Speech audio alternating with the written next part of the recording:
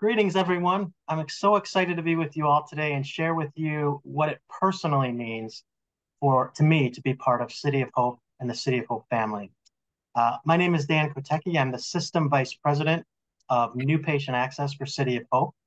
And in this role, I have the distinct pleasure of leading the group of mission-driven and dedicated team members who answer that first call from a prospective new patient, take the time to understand their current situation, help them get scheduled at one of our many care locations across the country, and of course, prepare them for that visit. I also have the honor of leading our Unparalleled Cancer Fighters organization in partnership with Jen Mikes, an incredible organization that is focused on making sure no one has to walk their cancer journey alone. I've been part of City of Hope for 12 years, initially joining at our City of Hope Chicago location, which at the time was known as Cancer Treatment Centers of America. I joined the team shortly after the passing of my mother in law from lung cancer. And within a year of joining the organization, my life was unexpectedly touched again by cancer when my dad was diagnosed with prostate cancer in the fall of 2012. About a year after that, my mom was diagnosed with uterine cancer. Both of my parents elected to seek treatment at City of Hope Chicago. And due to the incredible work of the doctors and care teams around them, both are now cancer survivors.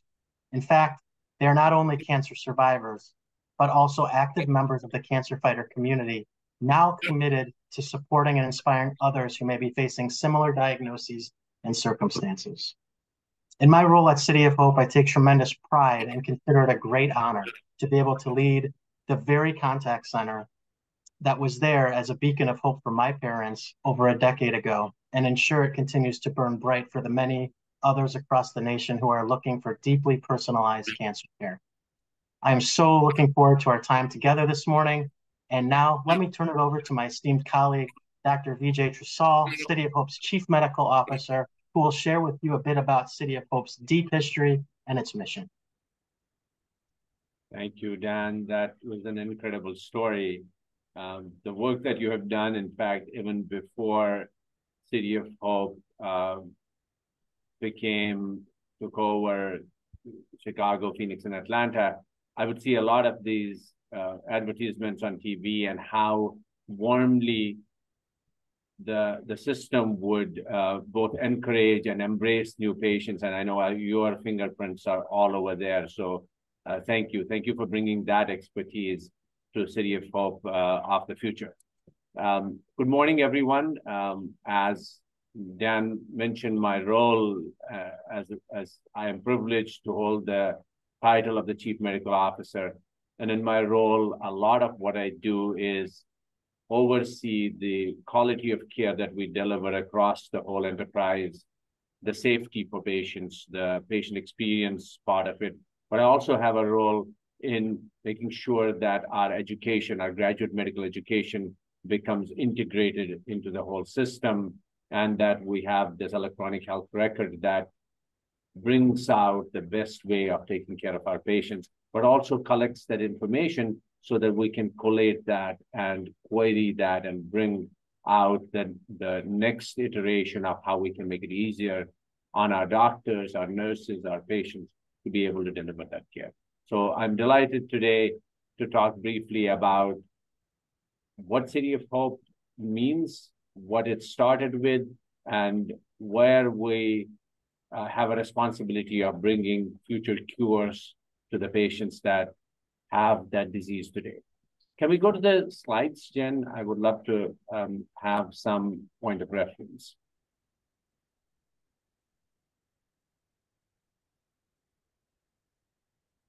Next slide. Thank you. So I can tell you that I have been at many organizations. I did my training in India, then in Michigan. I uh, was in a PhD program, then did my residency there. I've been at Duarte now for 22 years, mainly as a trainee initially, and then I was focused on research, helped build our network in the community, and then came back as this role as the chief medical officer. And I have seen many mission statements. Even this mission statement that is in front of you, that talks about transforming the future and bringing science into practical benefit. If you asked me without reading it, I would not remember it. But what I do remember and what is the core of the mission of City, City of Hope is what you see on that picture. And this picture is the Golter Gate. It is Sam Golter, who was the first president of City of Hope. This was his philosophy, and this was what has continued in the veins of City of Hope. This Golter Gate, which talks about what is it that we do, and that there is no profit in curing the body if in the process we destroy the soul. This know that when I take our future City of Hope family members to come and they walk through the rose garden and this gate is in the middle of that, that this attracts them and this is what mm-hmm. binds us all together. How we got here and where we are is a 110 year old history. Let me go back to the next slide that talks about where we are today. So Dan will talk briefly about our national system. In Southern California, we have now 35 sites that are all like a nursery. Some of them are mature sites where we take care of everything.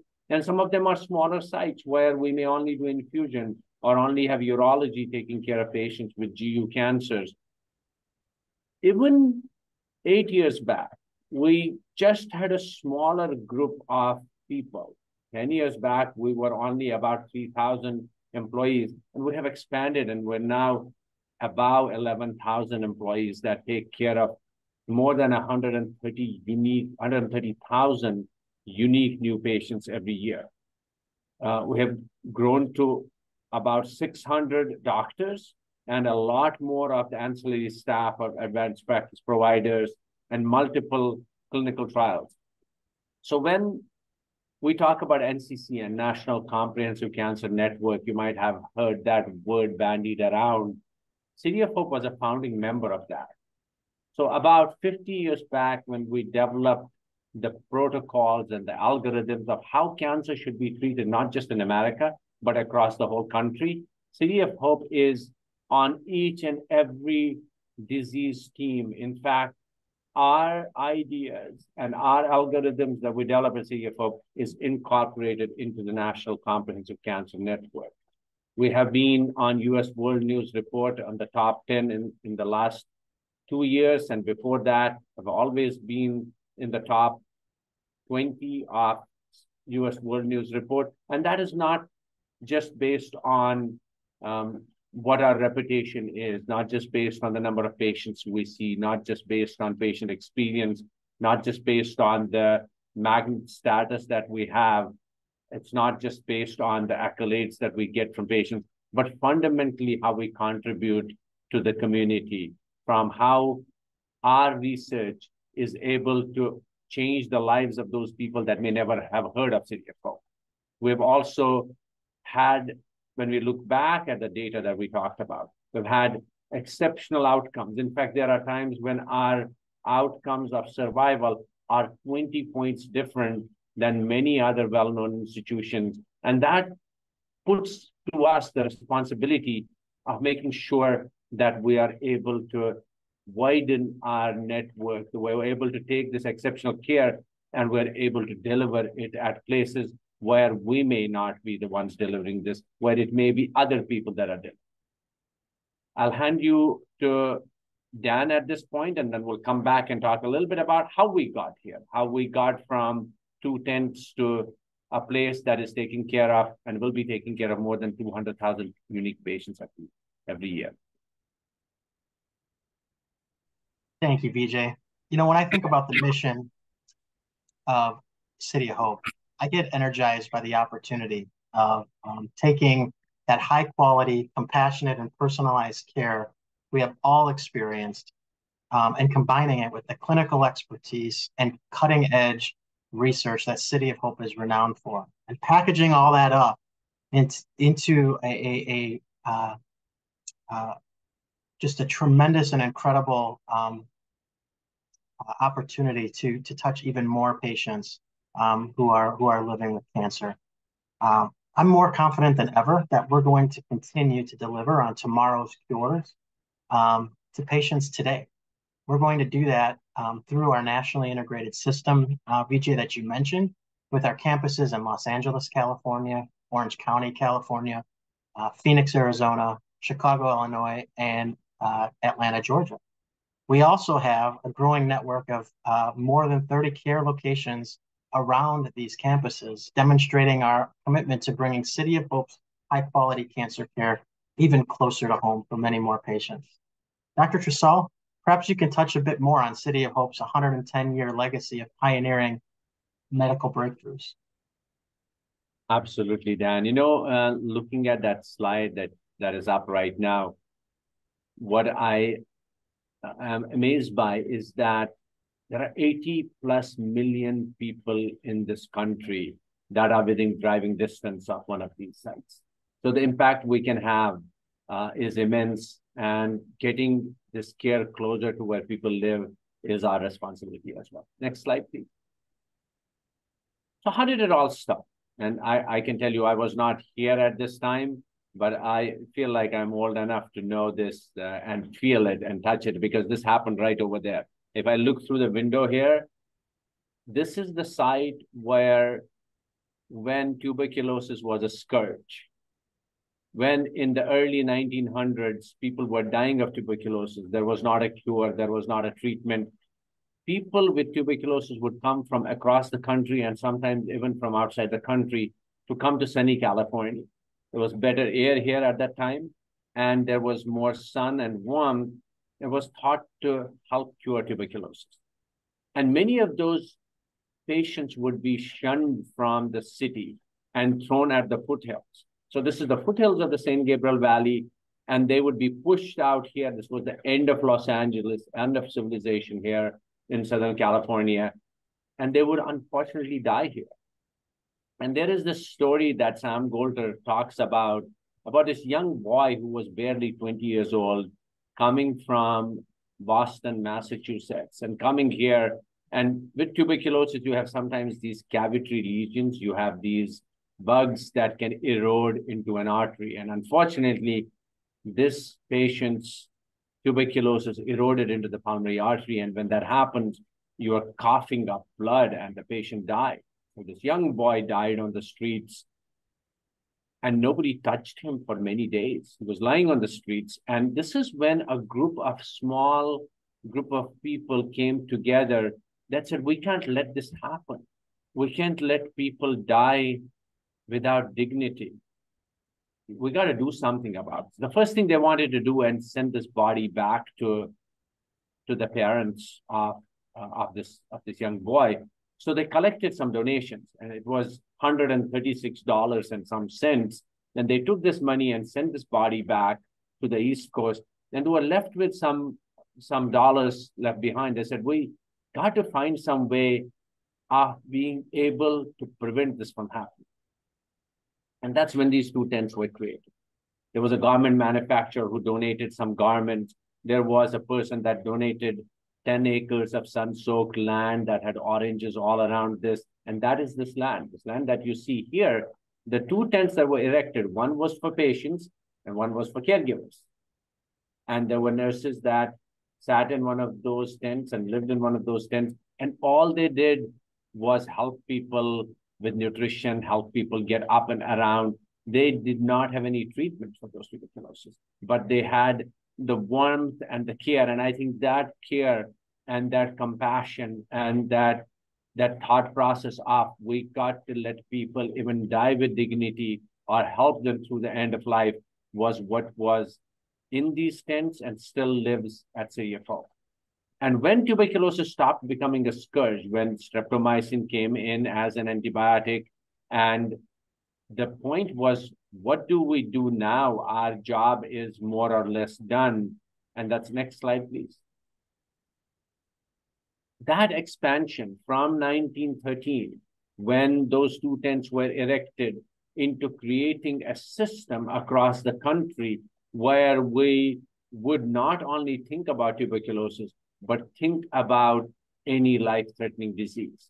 So in that slide that you see in 1920, all these patients were taken out of these small hut that were created. All of this was done through donation. In fact, till 1980s, City of Hope was a place where you would get free care.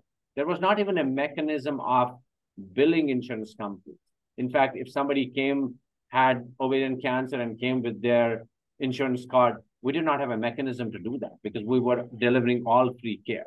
So in that area between 1920 and 1980s, all of what we delivered was basically free care. And when in 1920s and 30s streptomycin came about, we realized that either we close down because our job is done, or we focus on the dignity and the care and new treatments that should be delivered and can be delivered in all life-threatening disease. So we not only focused on tuberculosis, but we focused on pulmonary disease. Things like um, there, there was a unique disease called alpha-1 antitrypsin deficiency. A lot of that research developed at City of Hope, where you would get emphysema, even though you don't smoke, you would have these walls of the lung that would get broken down because you had a gene mutation, and that would create very difficult difficulties in breathing. So life-threatening diseases and our expansion and our name got around the whole country. We used to have these small groups, and on the top you will see the little helpers. These were small, similar to what you have today as Boy Scouts or Girl Scouts. They would collect money, the March of the Dimes, uh, collect dimes, collect quarters across the whole country. In fact, some of the biggest fundraisers were not in California.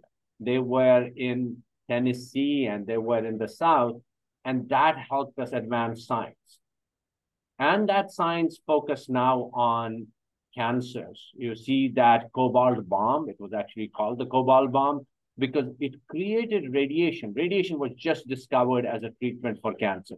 And once it started uh, becoming more and more known, it was expensive to deliver radiation. And this mechanism of delivering the cobalt bomb was delivering radiation at a much smaller cost because people could not afford to get radiation and this was an advancement that was made at City of Hope. In fact, the initial um, technology is still in, in the Beckman Research Institute, which is one of our research institutes. Next slide. It also attracted some of world's exceptional scientists, um, especially during the internment, the Jap Japanese internment, where a lot of the Japanese scientists and uh, and and the the, the, the people that came from Japan were shunned, City of Hope became an oasis for them. In fact, we attracted them. One of the earliest scientists, Susumu Ohno, who is on your left top that you see, was one of the people who actually focused on what is called X chromosome inactivation. In fact, if you go into understanding the X chromosome, it is one of the, the most diverse chromosome. It can be only this big or it can be three times its size a lot of that science of how the X chromosome gets inactivated as we grow from a baby into an adult was all that science was developed here at, at City of Hope. Um, our focus on nursing education and growing the nurses training was developed here at City of Hope. You will see that that fountain that used to be here in the center, that is a sine qua non of City of Hope, and the the statue that is on the on the middle top was developed by this uh, this young architect named uh, Robert Robert Rusin. Robert Rusin developed that, and that whenever you see City of Hope, um, how you identify it is by that um, that statue. It, because of construction, it has gone into uh, storage, but it'll come back out. And when you see City of Hope, you'll see that fountain and that statue coming back to life. Um, growth with our national recognition through uh, celebrities and through the Queen coming here was all um, a way to get City of Hope's unique science out.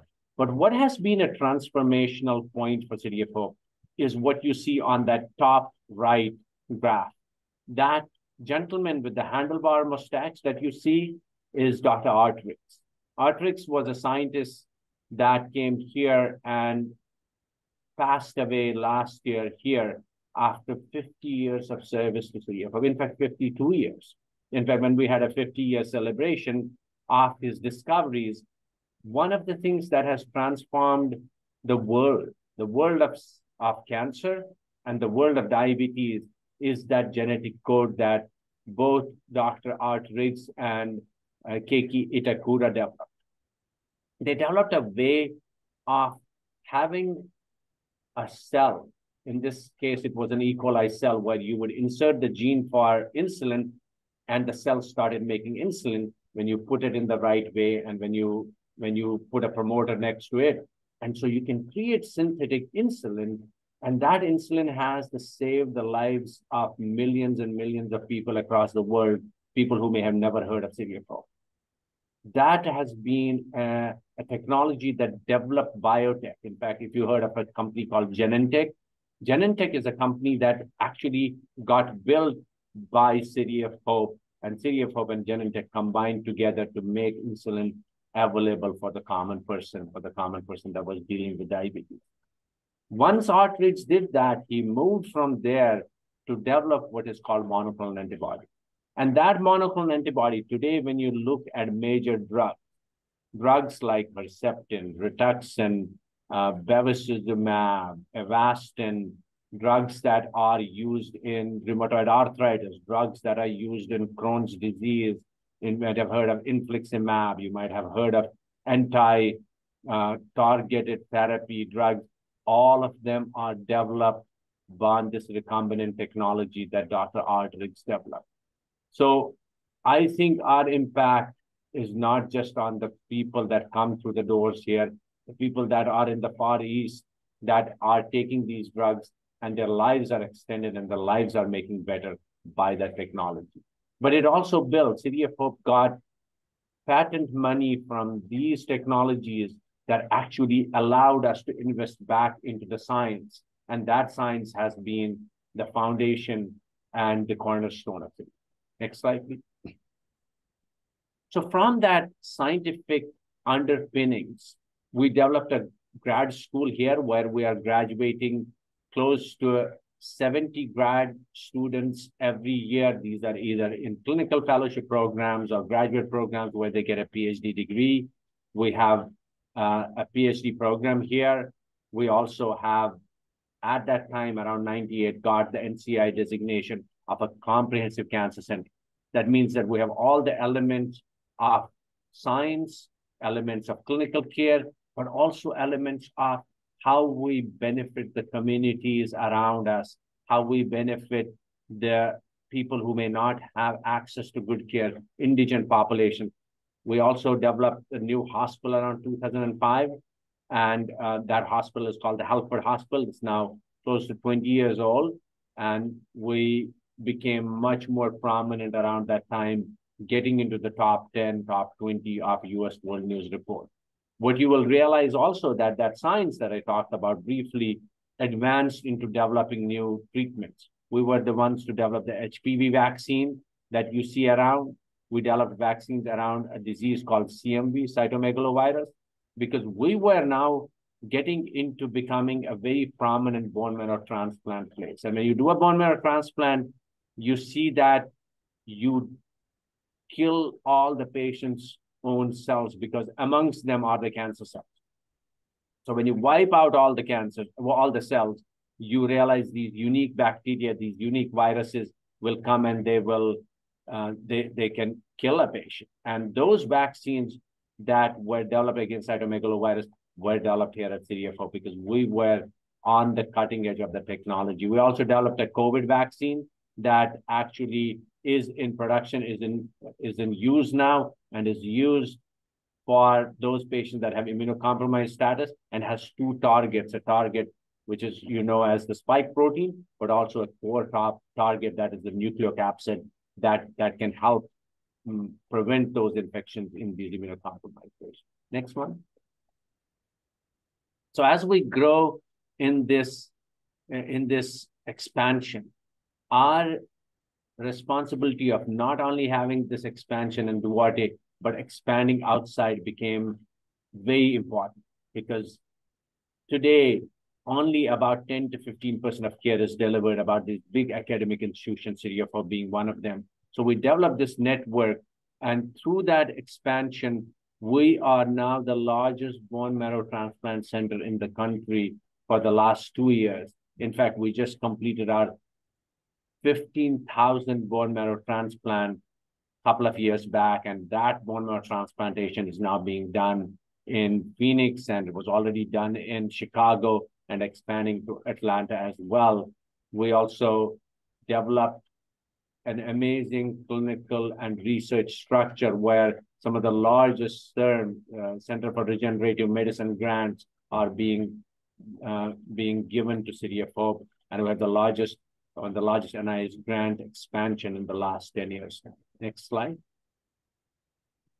So let me take a couple of minutes on this slide and then hand um, hand it back over to uh, to Dan. The expansion into Orange County, and this is one of the things that I uh, think is unique about City of Hope, is our ability to grow and grow quickly. The decision to put in a billion dollars into our expansion into Orange County and grow in other states, those decisions were made at such a speed that there is no organization in this country that is attached to a big university center can move that quickly. Our ability to move quickly and understand the needs of, uh, of a community and then take our uniqueness and develop in the community, we can do that quickly. We are one of three freestanding cancer centers in this country. And that is how this, this combination with what was CTCA makes sense. Because the focus, the ability to grow in a certain area and do that quickly, because for patients, wait is a four-letter word. And we can't wait for them to get that care that we know will help them and cure them. And that's where when you heard Dan talk about Atlanta and Phoenix and Chicago and our expansion into TGen, which is a research institute in, in Phoenix that we bought about six years back, has been the engine that has helped us deliver on that promise that we made to those people that are 110 years back, and that continues to be our ground. Can we move to the next slide?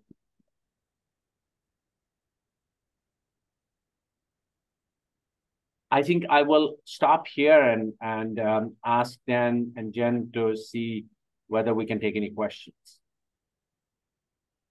Yeah, Dr. Trisal, I have a... Go ahead, Jen.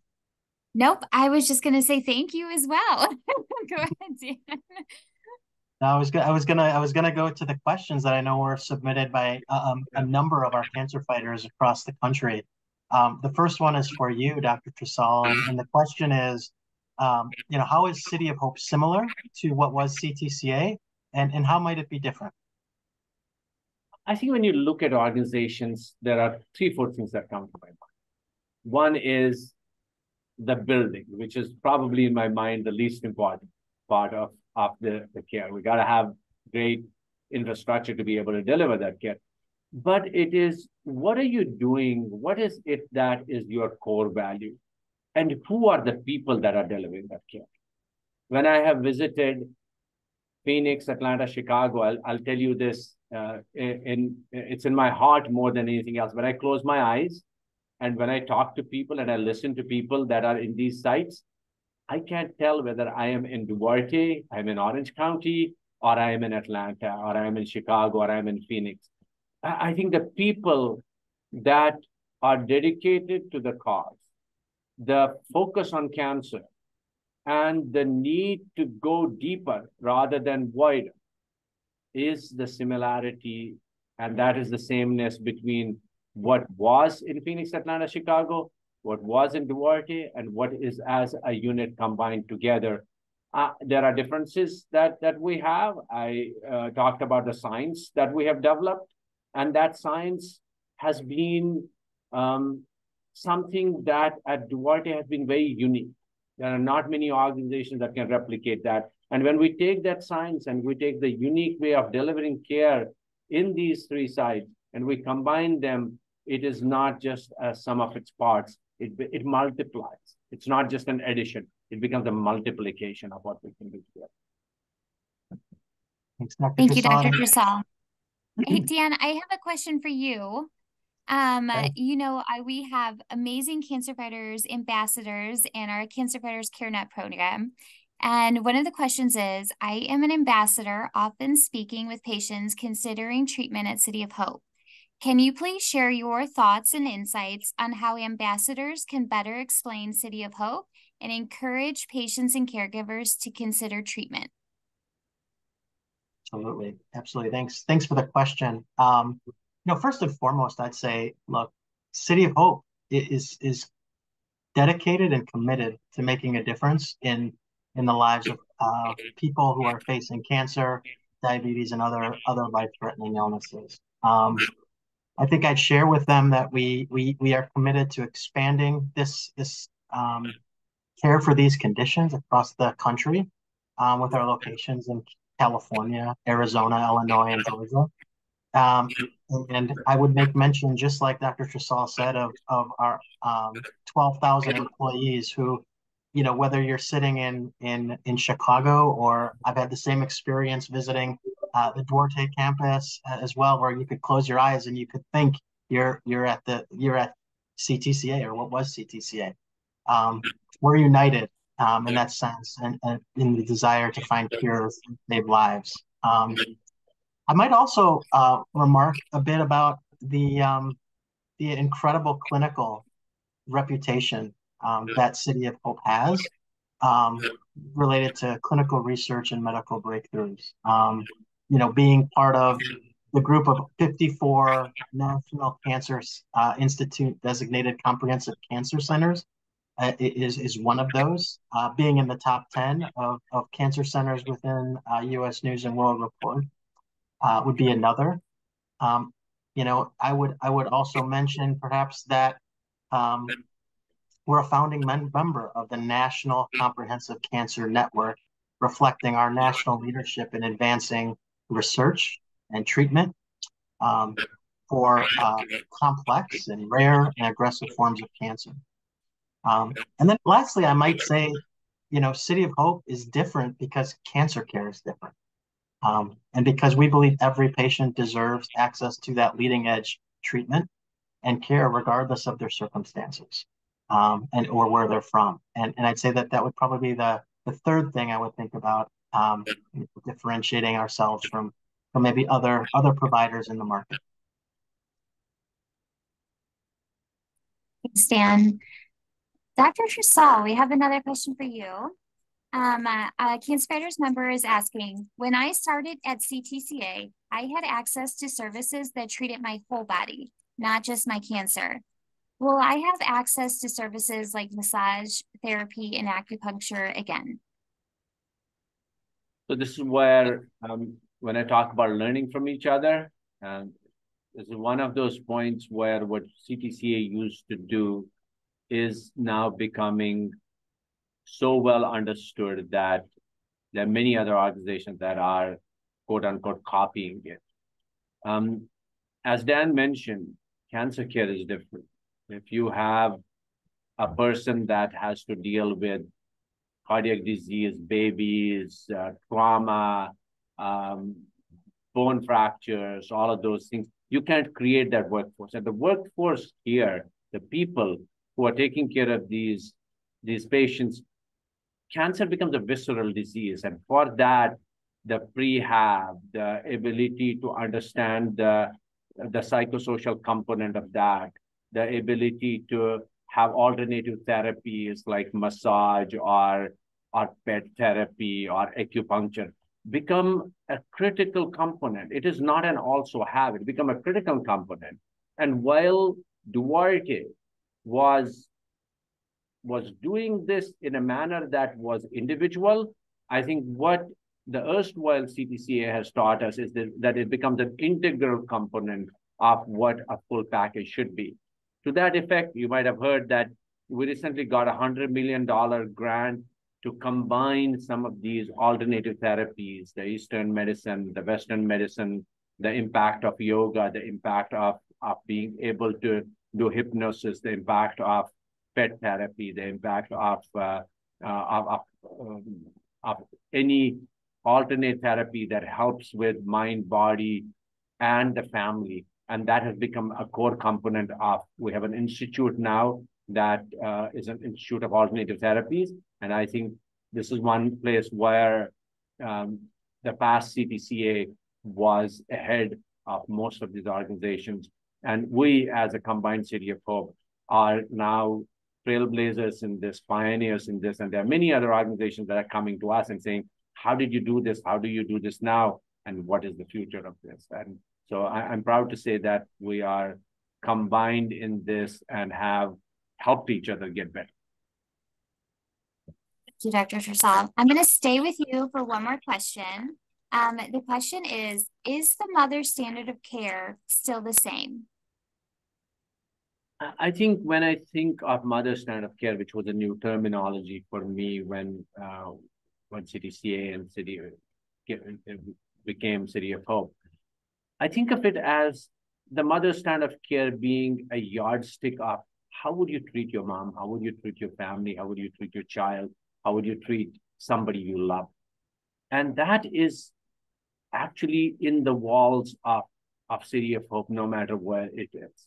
So whether you call it mother stand of care, which I think is a very, very apt terminology, or you call it the hope experience, or you call it the city of hope way, there is that secret sauce that runs through the organization. That is the culture of the place. How do you treat each other? And it actually not just patients.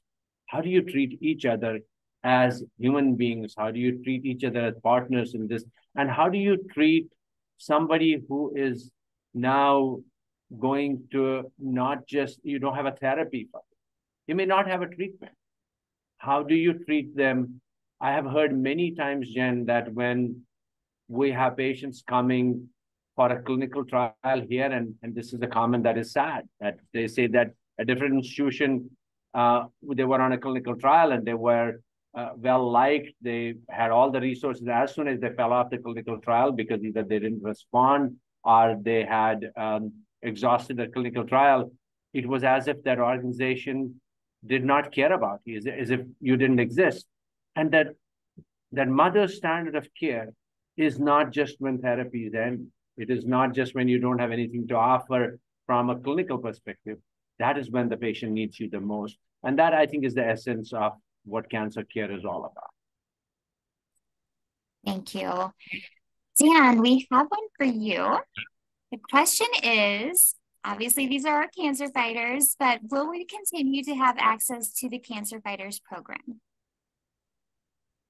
Jen, you gave me the easy one. Uh, short answer, yes. Uh, cancer Fighters is going to uh, is absolutely going to remain uh, an important program for us that taps into the experience and knowledge and inspiration of our more than 40,000 cancer patients and caregivers across the country who are part of uh, who are part of Cancer Fighters. Um, in addition, it enables us as City of Hope really to learn and partner with you all to to know how we can do better, how we can improve, and, and where we should really be focused.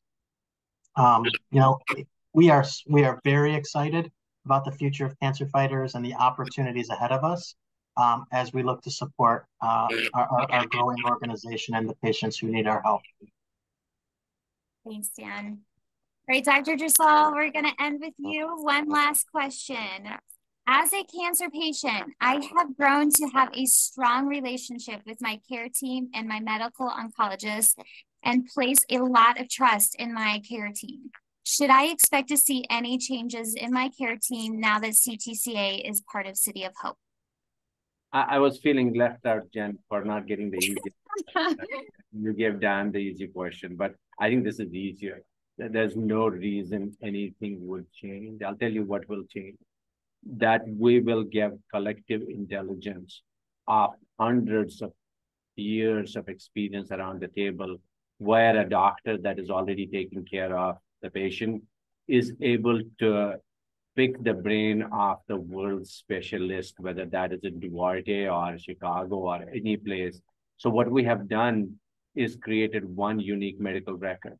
So as you know that we implemented Epic in all our sites. So we have one electronic health record where the world's expert, no matter where they are, can opine and can help tweak so that you have the patient has the best chance of not just survival, but also the best chance of decreasing toxicity, the best chance of being able to avoid unnecessary therapy, best chance of getting home quicker. So the doctor won't change, the care team won't change, the approach and the way we deliver care won't change, but the the thought process and the idea of what is the best treatment will only get better. Thank you. Thank you both. On behalf of all of our Cancer Fighters members, I know I um, am proud to be part of City of Hope, um, not only as an employee, but as a patient. And this has just inspired me and connected me even more to City of Hope. Before we sign off, any final words for our Cancer Fighters members? I, I would take a moment to thank them. A lot of the volunteers that are across the system, um, they do this work out of the generosity of their heart.